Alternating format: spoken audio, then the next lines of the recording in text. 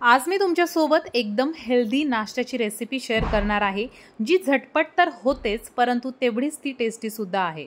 तर आज आपण बनवणार आहोत मुगाचे आप्पे आणि सोबतच त्यासोबत खाल्ली जाणारी जी चटणी आहे त्याचीसुद्धा रेसिपी मी तुमच्यासोबत शेअर करणार आहे. खूप हेल्दी रेसिपी आहे जर तुम्ही डाएट करत असाल तर तुम्ही ही रेसिपी ट्राय करू शकता. आणि अशीही थोडासा चेंज म्हणून एक हेल्दी ब्रेकफास्ट तुमच्यासाठी होऊ शकतो. तर सगळ्यात आधी ही झटपट असली तरी आपल्याला मूग आधी भिजत घालावे लागतील कारण आपण भिजवलेल्या मुगापासून करणार आहोत. ज्या डाळीला साल असते ती डाळ जास्त हेल्दी असते आणि त्यामुळे मी रात्री रात्रीच मूग भिजत घातले होते आणि सकाळी हा ब्रेकफास्ट बनवते आहे. तर इथे आपल्याला काय करायचं आहे? साधारणतः अर्धी वाटी मूग मी भिजत घातले होते.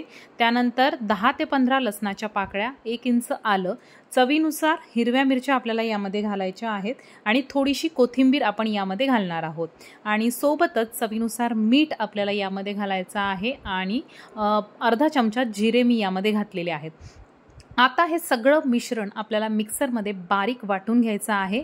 थोडंसं पाणी मी यामध्ये घालते आहे साधारणतः वन फोर्थ कप आणि बारीक वाटून हे मिश्रण घेणार आहोत. इन केस जर असं कधी झालं की तुमच्याकडून हे मिश्रण थोडंसं पातळ झालं तर तुम्ही यामध्ये एक टेबलस्पूनपर्यंत बेसनसुद्धा घालू शकता. आता हे बारीक वाटून घेतल्यानंतर यामध्ये मी पाव चमचा हळद आणि एक कांदा अगदी बारीक चिरून घेतलेला आहे. तो घातलेला आहे आणि अर्धा टीस्पून लिंबाचा रस आपल्याला यामध्ये घालायचा आहे.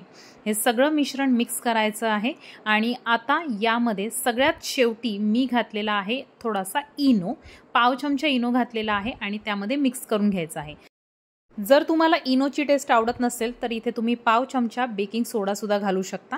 आता बेकिंग सोडा किंवा इनो घालण्याच्या आधी इथे पॅन तुम्हाला काय करायचं आहे गॅसवर ठेवून आप्याचा जो पॅन असतो त्याला थोडंसं ऑइलिंग करून घ्यायचं आहे तेल लावायचं आहे. म्हणजे जेव्हा आपण इनो किंवा सोडा घालू त्यामध्ये जी रिॲक्शन स्टार्ट होते तेव्हा लगेच आपल्याला हे जे आप्पे आहेत ते अशा प्रकारे या पॅनमध्ये घालून घ्यायचे आहेत.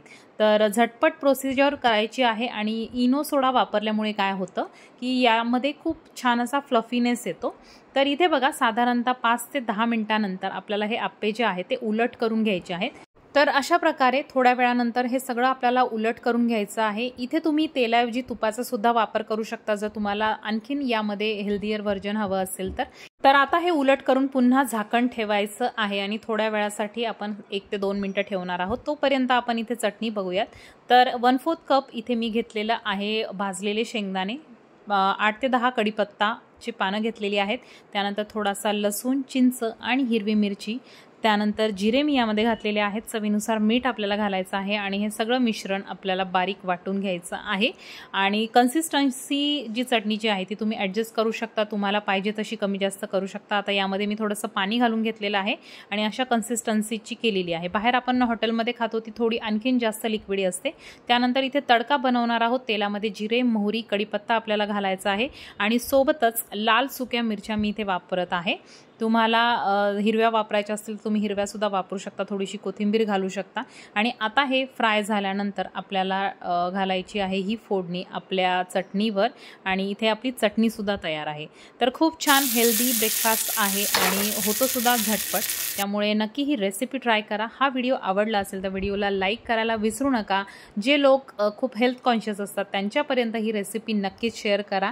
आणि तुम्हीसुद्धा ट्राय केल्यानंतर तुमचा फोटो मला कमेंटमध्ये पाठवायला विसरू नका. तर चला भेटूयात एका नवीन व्हिडिओमध्ये एका नवीन रेसिपीसोबत तोपर्यंत चॅनलला सबस्क्राईब केल्याशिवाय किंवा फॉलो केल्याशिवाय जाऊ नका. अशा छान छान रेसिपी तुमच्यासाठी मी घेऊनच येणार आहे. भेटूयात एका नवीन व्हिडिओमध्ये एका नवीन रेसिपीसोबत